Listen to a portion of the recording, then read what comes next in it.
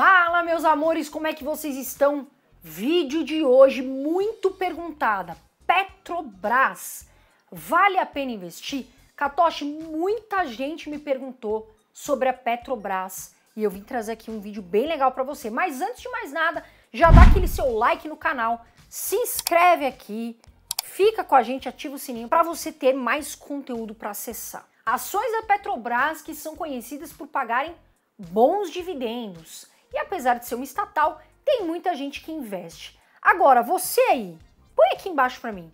Você investe na Petrobras? Você tem Petrobras na sua carteira? Comenta comigo aí embaixo, meu amor. Petrobras, gente, que é uma empresa, uma das maiores empresas de petróleo do mundo e que pagou bons dividendos e promete em 2022 também continuar pagando uma bolada boa aí, ó, de dividendos. Agora, tem muita gente que não sabe exatamente o que, que a Petrobras faz.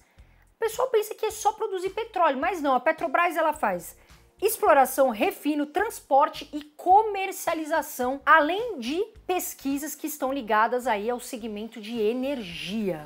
Agora, o seu grande trunfo é ela consegue explorar o petróleo em águas profundas, ultra profundas, isso mesmo, que é a questão que a gente já ouviu do pré-sal. Historicamente, tá, pessoal, a Petrobras não é conhecida por pagar bons dividendos. Porém, alguns movimentos aí que estão acontecendo chamaram a atenção aí, chamaram a atenção dos acionistas. Inclusive, a gente tem muito dinheiro de acionista estrangeiro na Petrobras, porque acreditam na empresa. O que? Mudou a gestão. A Petrobras, né, teve uma mudança de portfólio, fez ali, ajeitou a casa, começou a né, ter mais. Fez uma. É, teve uma mudança muito positiva e isso chamou a atenção dos investidores. Sem dúvida, a gente sabe que a Petrobras melhorou e muito nesse governo. A gente sabe que a Petrobras ela teve um endividamento muito grande lá atrás. Você lembra, menininho, lá em 2015? 2015 foi o ano, hein? Teve um pico, eu lembro, tinha ações da Petrobras que fizeram assim, ó. Mas eu não vendi, tá, pessoal? Eu fiquei com ações da Petrobras chegando a 10 reais. E agora, o que, que a Petrobras fez? Vendeu, tá vendendo é, refinarias para diminuir as dívidas, né, para ficar mais enxuta a empresa. Então, isso vem trazendo bons olhos. Tá fazendo pagamento, tá honrando ali pagamento de dívidas e tá diminuindo a alavancagem da empresa, que é importante também, para não ficar, né, quando a alavanca muito é ruim. Então, fez mudanças, tá tentando diminuir as dívidas e quanto menos dívida, melhor para a empresa. Outra coisa positiva é a questão do pré-sal. A gente comentou um pouquinho aqui atrás no vídeo. E o que, que isso faz? A exploração dessa forma permite a extração de grandes volumes com menor custo para longo prazo, ou seja, menos custos, melhor também para a empresa. Menos custos, mais lucros. E isso é muito bom, né, Katoshi? Muito bom. Maior lucro, menos custo. Ótima notícia. Agora, nós sabemos que a Petrobras tem uma grande parte da estatal, a gente fala tem dedo do Estado. Isso faz com que os acionistas fiquem de olho. A gente sempre fala isso para vocês. A empresa pode ser boa, mas a gente fala, tem dedo do Estado. E às vezes fica nesse sobe e desce. Por quê? A gente teve uma última notícia que fez com que as ações passassem um momento mais delicado. O que aconteceu? O menino de ouro coloca aí na tela essa notícia. Lula diz que em vez de pagar dividendos, Petrobras deveria investir em refinarias. E aí as ações fecham em queda. Lula falou isso e aí no mesmo dia as ações da Petrobras, Petri 3, tiveram uma desvalorização de 2,97% no dia. E aí teve uma outra fala do ex-presidente Lula Inácio da Silva. Coloca para mim na tela, por favor, essa notícia da CNN. Lula quer Petrobras devolvida ao povo. Sabemos o que isso significa. Pessoal, volta para cá. Nós estamos trazendo notícias, fatos. Tem pessoas aqui que gostam do Lula, tem pessoas que não gostam, enfim, a gente não entra nesse debate, né, Catochinho? Não dá pra entrar, não. Não dá pra entrar, até porque a gente também não quer. Vai A gente ser não um quer. debate infinito. É um debate infinito, meu amor. A gente aqui respeita a sua opinião, mas a gente traz fatos. E não é recomendação de compra. Ah, Carol, eu vou comprar porque eu ouvi. Não. Você tem que estudar a empresa. Você tem que saber avaliar a empresa como um todo.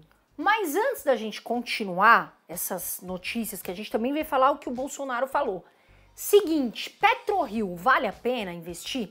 Recentemente eu comprei PetroRio, coloquei na minha carteira e essa ação que subiu, Katoshi, mais de 500% aí nos últimos meses. Agora tem que estudar a empresa. E por isso que a gente trouxe para vocês um relatório da Nord Research. Os analistas excelentes estudam lá o dia todo, meu amor. E você também tem que estudar. Faz a lição de casa. Primeiro link tá na descrição, meu amor. Clica, é de graça e leia. Será que vale a pena ter PetroRio aí na carteira? Veja se faz sentido para você.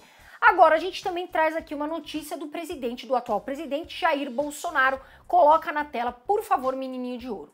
Bolsonaro diz que Petrobras não colabora com nada e que poderia ser privatizada hoje. O Bolsonaro tem feito críticas, né, à Petrobras pela questão do aumento do combustível. A gente sabe, né, Catochinho?